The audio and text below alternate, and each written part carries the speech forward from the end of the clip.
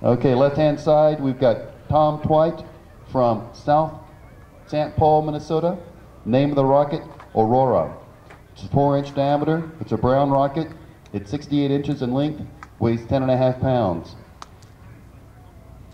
Flying on a Dave Leninger 54 millimeter J550 rocket motor.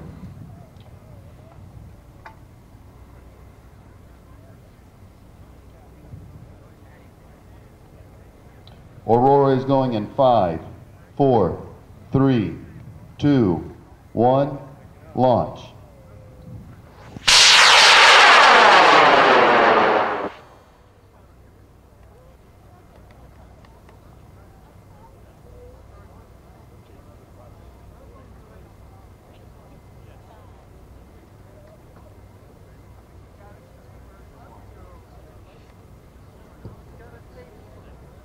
Okay, it's under streamer.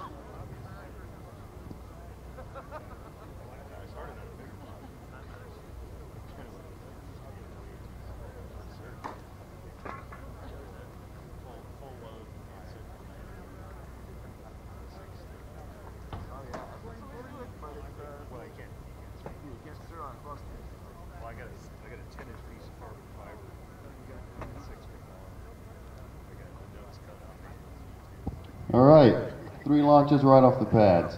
We've got uh, out at the away cell, a team is prepping.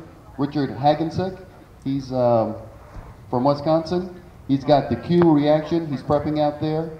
It's a Q5170, 105,000 newtons is the impulse, 21 second burn. And he's shooting for uh, in the 80 to 85,000 feet uh, range, is my understanding. So that's going to be a bit later today, this morning.